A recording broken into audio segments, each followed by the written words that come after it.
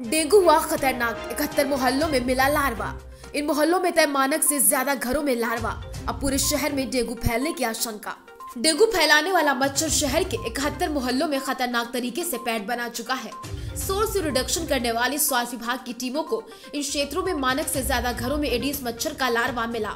इससे स्वास्थ्य विभाग की परेशानी बढ़ गई। इससे दूसरे क्षेत्रों में भी एडीज मच्छरों की आबादी बढ़ने का खतरा मंडरा रहा है।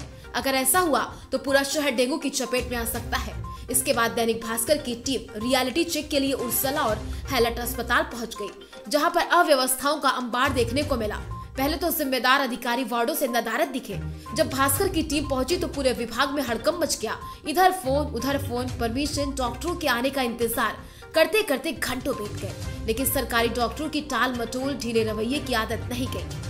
सोचिए आने वाले मरीजों का क्या हाल होता होगा। यहाँ तक कि मरीज़ के परिजन जीने के बगल में बाहर ज़मीन पर सोते हुए नज़र आते हैं, क्योंकि उनके ठहरने की अस्पताल प्रशासन ने कोई व्यवस्था तक नहीं की। जब वहीं के जिम्मेदारों से फ़ोन पर बात हुई तो बोले यहाँ पर डेंगू का कोई मरीज़ ही नहीं है।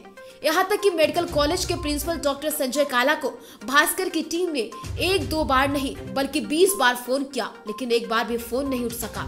जब फ़ोन उठा तो बताया कि साहब व्यस्त है। अब क्या मरीजों से बढ़कर इनकी मीटिंग है? डेंगू का रियलिटी चेक करना है तो दस नंबर वार्ड में है डेंगू के पेशेंट डेंगू वार्ड में जी जी जी। दस नंबर वार्ड जो है हमारा मेडिसिन का वो डेंगू वार्ड आपका स्टाफ तो बता रहा है सेकंड फ्लोर पे डेंगू के पेशेंट हैं। आप जाने से रोक क्यों रहे हैं सर नहीं डेंगू के भी पेशेंट नहीं क्या नाम है सर आपका? डेंगू के भी पेशेंट नहीं सर क्या नाम है आपका? मैं आ रहा हूँ वहीं पे आ रहा हूँ आइए आइए आप वेट कर रहे हैं सर आपका। बताते चले, रोगियों में वायरल लगातार बढ़ने का खतरा मंडरा रहा है। ऐसा होने पर हेमोरेजिक स्थिति भी आ जाएगी, जिससे प्लेटलेट्स काउंट अत्यधिक घट सकता है। रोगियों के शरीर में ब्लीडिंग बढ़ जाएगी। सीएमओ डॉक्टर आलोक रंजन ने इन क्षेत्रों में सघन फॉगिंग करने के लिए नगर आयुक्त को पत्र लिखा। इन क्षेत्रों में सुबह और शाम को फॉगिंग कराने को कहा गया, ताकि वयस्क मच्छर मर सके। डेंगू के लार्वा की मौजूदगी सिर्फ़ आम इलाकों में ही नहीं है, बल्कि वीआईपी इलाकों में भी मानक से ज़्यादा है। लेकिन सरकारी डॉक्टर, अधिकारियों की लापरवाही आपके सामने है। अब ये देखना होगा कि योगी आदित्यनाथ सरकार के स्वास्थ्य मंत्री और डिप्टी सीएम ब्रजेश पाठक कैसे इन बेलगाम डॉक्टरों पर शिकंजा कस के स्वास्थ्य जगत में उत्तर प्रदेश को उत्तम बनाते हैं।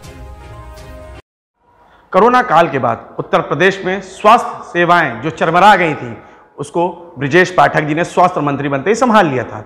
जी हाँ आज हम खड़े हैं कानपुर में। दैनिक भास्कर की टीम रियलिटी चेक करने आई है कानपुर के हेलेट हॉस्पिटल में। आज हम जानेंगे यहाँ पे क्या व्यवस्थाएँ मरीजों को दी जा रही है और क्या व्यवस्थाएँ उनके साथ खिलवाड़ किया जा रहा है। उनकी ज़िंदगी और जान दोनों को जोखिम में डाला जा रहा है। बने रहिए हमारे साथ आपको पूरी कहानी दिखाएँगे दैनिक भास्कर से। क्या हुआ है आपके?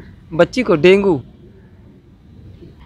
कितने दिनों से एडमिट है अस्पताल में? दो तारीख से।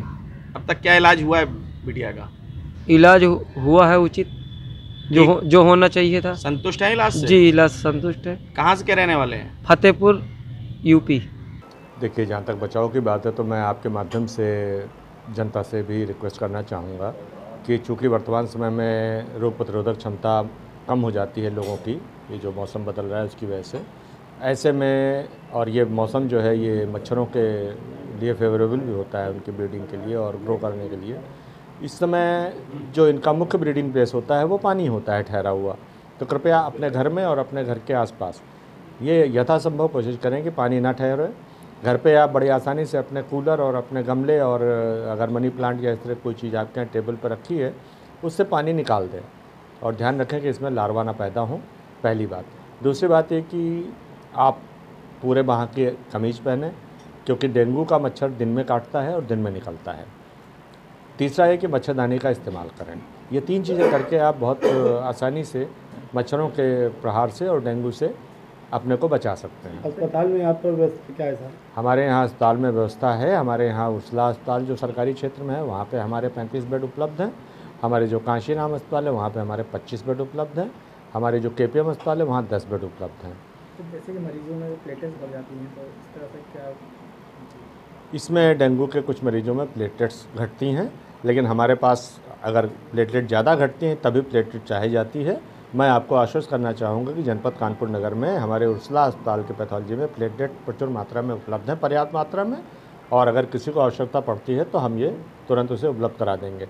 यहीं पर मैं आपको एक बात और बताना चाहूँगा कि इस साल या इस सीज़न में हमको प्लेटलेट की आवश्यकता ज़्यादा नहीं पड़ रही है। यानी डेंगू जो है अपने सीरियस रूप में बहुत कम है। अगर पिछले सालों के मुकाबले- देखा जाए तो इस साल पर्यावरण रिलेटेड की आवश्यकताएँ ज़्यादा नहीं पड़ रही हैं।